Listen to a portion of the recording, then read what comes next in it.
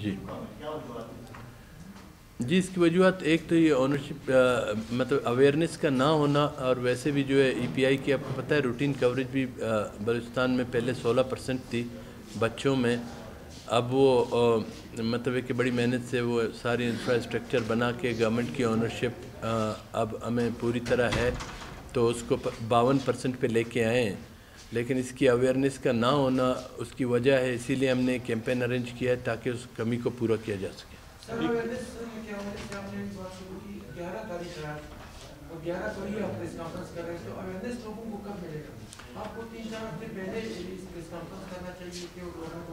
جی وہ چونکہ جیسے کہ میں نے آپ کو بتایا کہ یہ مطلب ہے کہ اس میں دوسرے اسٹیک ہولڈرز انوالو ہیں جیسے یونیسیف ہے سی ڈی سی ہے اور اس کی اپروول بھی باہر سے آنی تھی۔ تو جب تک ہمیں اپروول نہیں ملے گا ویکسین نہیں ملے گا تو پہلے ہم کر نہیں سکتے تھے۔ اور ابھی بھی بہت مطلب ان کی طرف سے لیٹ ہوا ہے ہماری طرف سے نہیں۔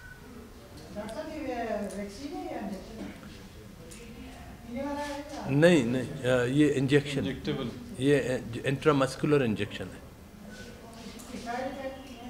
جی کوئی سائیڈ ایفیکٹ نہیں ہے۔ بس وہ یہ ہے کہ کبھی کبھی ایسے چھوٹا سا ایپسس اگر ہوا تو ہوا لیکن کوئی خاص ڈینجرس کوئی چیز نہیں۔ جی بالکل، ہم نے ہیلتھ سیکریٹری صاحب نے لیٹر لکھا ہے اور سیکریٹری کالجز، سیکریٹری اسکولز اور یونیورسٹی کے جو بھی ڈینز ہیں، ان سب کو لیٹر چلا گیا ہے اور ان کی طرف سے بھی نوٹیفائی ہوا ہے سارے اسکول اور کالجز گرلز کالجز اور یونیورسٹیز کو۔ کہ وہ اس مہم میں بڑھ چڑھ کے حصہ لیں اور سب کو ویکسین نہیں یہ میرا نہیں خیال ہے کہ پہلے یہ کمپین ہوا ہے میری نالج کے مطابق پہلی دفعہ کر رہے ہیں جی یہ ٹارگٹ ہے ہمارا two point eight million two point nine بلکہ۔ انتیس انتیس لاکھ کے قریب قریب۔ یہ اس طرح کہ جو ٹوٹل پاپولیشن کا بائیس فیصد وہ ہم کہتے ہیں اس ایج گروپ میں فال کرتا ہے۔ پندرہ سال سے لے کر انچاس سال تک جو خواتین ہیں یہ ٹوٹل بلوچستان کی پاپولیشن کا بائیس فیصد ہے۔ تو جب اس کو آپ کیلکولیٹ کرتے ہیں دو اشاریہ نو ملین یعنی انتیس لاکھ خواتین اس ایج گروپ میں آتی ہیں۔ وہ ٹارگیٹ ہے ہمارا ساتھ۔ جی ہم نے ابھی تو سات ہزار ٹیمیں بنائی ہیں اوور آل بلوچستان۔ تو اس کے بعد چھ دن کر کے ہم دیکھیں گے کہ ہمیں کیچ اپ کی ضرورت پڑتی ہے تو مزید ڈیز بڑھا کے ہم ٹارگٹ اچیو کریں گے انشاءاللہ۔ جی ڈور ٹو ڈور چونکہ ای پی آئی پالیسی نہیں ہے تو اس میں ٹیمیں بنیں گی اور جیسے مطلب کمیونٹی میں جائیں گی نیبرہڈ میں جیسے کسی کی بیٹھک ہو گئی ریکویسٹ کیا ہے، تو کمیونٹی کے اندر جا کے اس جگہ پہ ویکسینیٹر بیٹھیں گے اور سوشل موبلائزیشن کر کے لوگوں کو وہاں بلا جائے جی یہ آپ کو پتہ ہے کہ ٹیٹنس کے لیے ہم نے لگایا کہ جو نوزائیدہ بچے ہیں اور پریگننٹ وومنز ہیں، اور چائلڈ بیئرنگ ایج میں پندرہ سے انچاس سال کے جو ایج گروپ ہے، ان کو ہم لگا رہے ہیں تاکہ ان کو تشنج سے بچایا جا سکے۔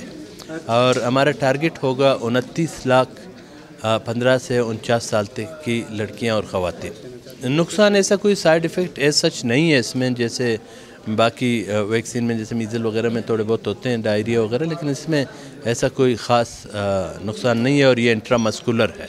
جی وہ یہ ہے کہ یہ ایزنشل ویکسینیشن میں آتا ہے۔ روٹین میں بھی ہمارا ای پی آئی لگاتا ہے یہ۔ لیکن چونکہ اویئرنیس کی کمی وغیرہ سے اس کی پرسنٹیج کم ہے، بارہ فیصد جو ہے خواتین کو بارہ پرسنٹ کو لگایا گیا ہے، تو اسی لیے ہم نے کیمپین ارینج کیا ہے تاکہ اس کی کوریج کو بھی بڑھایا جا سکے اور ساری خواتین کو لگایا جا سکے۔ جی نہیں، یہ پورے بلوچستان میں آج گیارہ سے لے کر سولہ تاریخ تک پورے بلوچستان میں اس کا آغاز کر دیا گیا ہے فرسٹ راؤنڈ کا۔ اور ہم دیکھیں گے کہ اگر ٹارگٹ چھ دن میں پورا نہیں ہوا تو انشاءاللہ کوشش کریں گے کہ ہم کیچ اپ ڈیز بھی کریں اور اپنا ٹارگٹ اچیو کریں اور یہ فرسٹ راؤنڈ ہوگا. دوسرا راؤنڈ جو ہے وہ نو تاریخ سے شروع ہوگا، پندرہ تاریخ تک اگلے مہینے کی دسمبر میں اور پھر تیسرا راؤنڈ جون میں. اور ابھی جس طرح کہ آپ لوگوں کو پتہ ہے، ہم تشنج کے والے سے ایک کیمپین کرنے والے ہیں اور اسی والے سے ہم آئے تھے. تو تشنج یہ کہ پورے بلوچستان میں بارہ فیصد اس کا ایک کوریج جو ہم کہہ رہے ہیں کہ بہت کم ہے. اور اس سے ابھی تک یعنی بلوچستان کے خواتین ابھی تک مر رہے ہیں۔ اور ہم چاہتے ہیں کہ یہ ایک تشنج کے والے سے ایک روک تھام کی ایک مہم چلائی جائے۔ اور اس مہم کو جتنا عوام زیادہ سے زیادہ کامیاب کر سکتے ہیں، اتنا ہمارے لیے بھی بہتر ہے کہ ہماری ٹیموں کے ساتھ رابطہ کریں اور ان کے ساتھ تعاون کریں۔ ہاں بالکل اس میں اس طرح ہے کہ اگر میں ہمارے پاس وہ سرولنس کا کریکٹ ڈیٹا تو نہیں ہے، مگر آپ کوریج کو بھی اگر دیکھ لیتے ہیں کہ ہمارے پاس کوریج اگر بارہ فیصد ہے، تو اس کا مطلب اٹھاسی فیصد ایسی خواتین ہیں جو آئی رسک ہیں، جن کو تشنج افیکٹ کر سکتا ہے، اس طرح کے ان کو تشنج کی بیماری ان کو لگ سکتی ہے۔ اور اس میں ہم کالجز اسکولس یونیورسٹیز کیونکہ اس میں ایک میجر چنک آف پاپولیشن جو ہے وہ اس میں ہمارا جو ٹارگیٹ ایج گروپ ہے، وہ اس میں رہ رہے ہیں۔ تو اس میں پڑھ رہے ہیں۔ تو وہ ہمارا ایک ٹارگیٹ ہے کہ ان کو بھی ہم اسکول کالجز اور یونیورسٹیز میں ان کو اپروچ کریں اور ان کو ویکسینیشن ان کی ہو تشنج کی وجہ اس میں اکثر جو عوام اس کو پہچانتے ہیں، وہ کہتے ہیں کہ جھٹکوں کی بیماری اس کو کہتے ہیں۔